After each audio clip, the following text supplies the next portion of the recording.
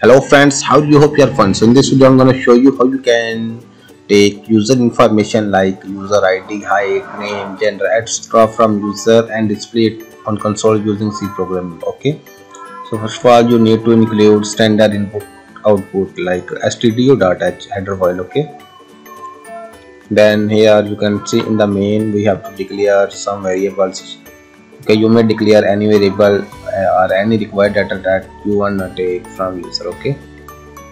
So here i'm gonna take the user id and height name and address from user okay?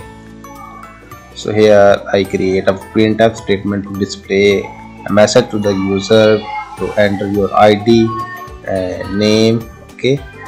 Height and address okay? So for uh, integer we have to add a modulus d here okay so it will take this text okay? Take the text from console okay? And uh, store in this user id okay? Same like that the scanf function scan the console okay?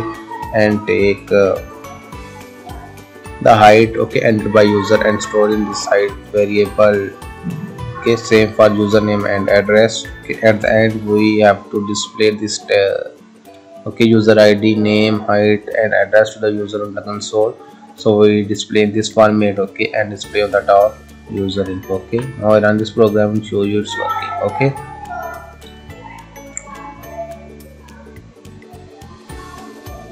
So here i have to scroll it up okay.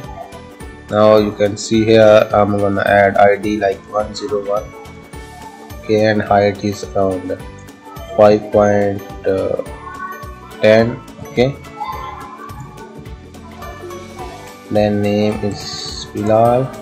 Address is Pakistan okay. Now you can see it will display uh, all the data according to the information that the user provide on the console okay. Hope you like this video. Please subscribe my channel for more informative videos okay. Bye bye tata. See you